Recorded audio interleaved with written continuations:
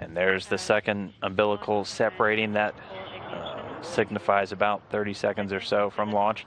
You can see the engine starting to ramp up. The engine's firing, now building up to flight speed and liftoff. Jack Fischer and Fyodor Yurchikhin on their way to the International Space Station. Vehicles clear the tower, getting good first stage performance. That Soyuz delivering about 930,000 pounds of thrust from those four strap-on engines in the core.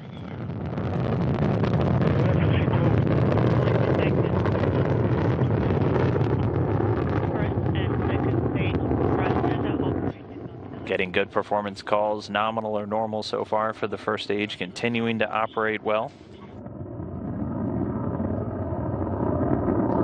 Again, a pretty clear day there in Baikonur, so getting great views of the rocket as it flies across the Kazakh sky.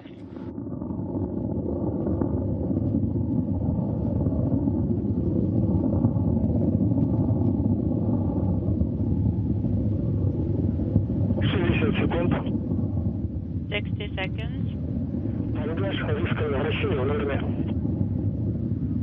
And uh, roll on. The crew is feeling good. Copy, Olympe. It's already 70 seconds since liftoff. The vehicle already moving at over 1,100 miles an hour. And continuing to get those good performance calls, you'll hear yaw, pitch, and roll, basically the uh, orientation of the rocket. Want to hear nominal, and that's what we're hearing. Everything going well with the Soyuz so far. On board, you can see uh, the crew members still doing well. Again, Fyodor Yurchikhin on the bottom there, and then Jack NASA's Jack Fischer on the top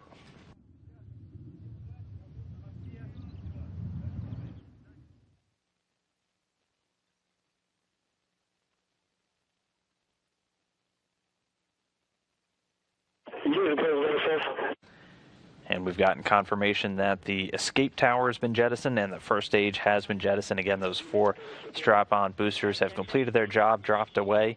The vehicle already in an altitude of about 28 statute miles, Soyuz rocket traveling at about 3,350 miles an hour. Thumbs up from Jack Fischer. Everything continuing to go great so far with this launch. The vehicle under the power now of the core stage or the second stage, and that's going to continue to fire until about 4 minutes and 48 seconds into the flight, uh, so another 2 minutes and change from now. Second stage, thrusters are operating nominally. Getting confirmation the launch shroud has been jettisoned, so the Soyuz vehicle now exposed. Everything going right per the timeline so far with today's launch. Second stage continuing to perform great uh, from all the reports coming in. Just past the three minute mark since liftoff. At this point, the Soyuz is already traveling over 4,700 miles per hour. And we have the controlled You can see sunlight pouring in now from a, a window just over Jack Fischer's shoulder. Uh, that now possible with that launch shroud being jettisoned. Second stage. Thrusters are operating. Everything performing as expected. That core stage of the Soyuz, 56 feet in length, 13 and a half in diameter, has a single engine with four fuel chambers and provides between 178,000 and 222,000 pounds of thrust, depending on the altitude of the vehicle. And it burns for about 3 minutes and 28 seconds. It's going to burn until the 4 minute 43 second mark, and then it'll use uh, what's known as a hot stage technique. So the third stage will actually ignite while the second's still burning. That's why, again, the Soyuz rocket has that open lattice-like structure in between the second and third stages, and we'll be seeing that shortly. Continuing to get good calls, 4 minutes, 12 seconds in counting since liftoff.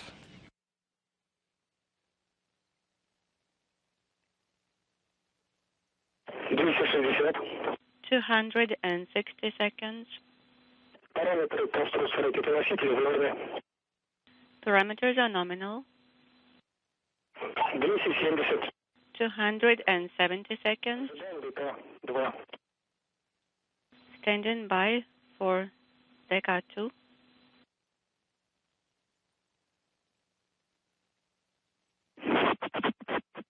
Good, just got confirmation the second stage separated from the Soyuz rocket, the third stage firing. We have separation of the second stage. Yes, we confirm. And confirmation the third stage engine has ignited and now powering the Soyuz into its preliminary orbit. That core booster separates at an altitude of about 105 miles. The Soyuz, now propelled by the single engine of the Soyuz's third stage, providing about 67,000 pounds of thrust, and is going to burn for the next 4 minutes and 2 seconds.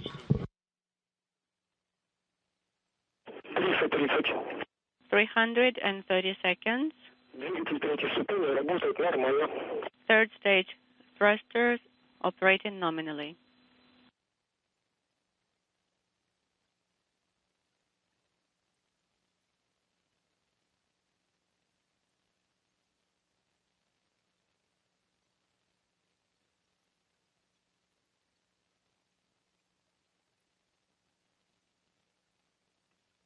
360.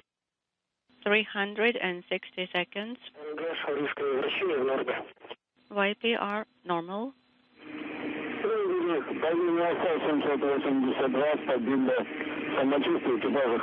SR pressure is 782.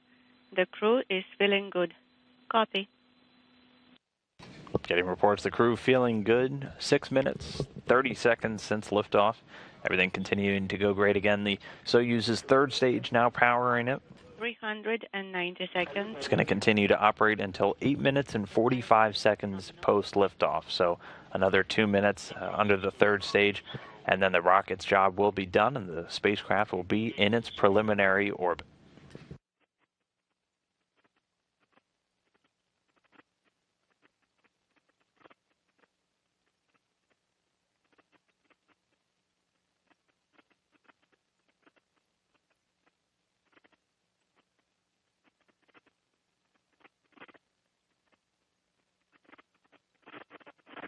Четыреста тридцать.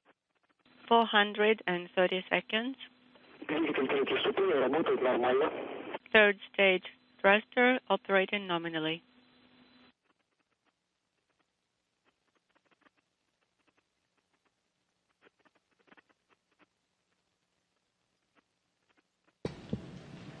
Again, all the calls, everything going well so far with this morning's launch. Keep your eye on the dog floating just in front of Fyodor Yurchikhin. Again, that's going to be our zero G indicator. So once they're in their preliminary orbit and they start experiencing microgravity, you'll see that start to float, just like everything else inside the vehicle, including the crew members themselves, will shortly. We're 7 hours 54 minutes since launch. Vehicle traveling in excess of 13,500 miles an hour.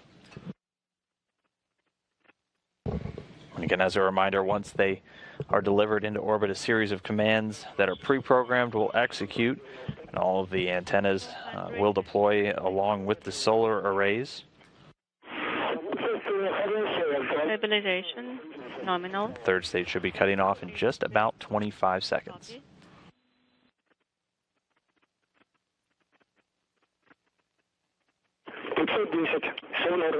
Five hundred and ten seconds. Everything is nominal.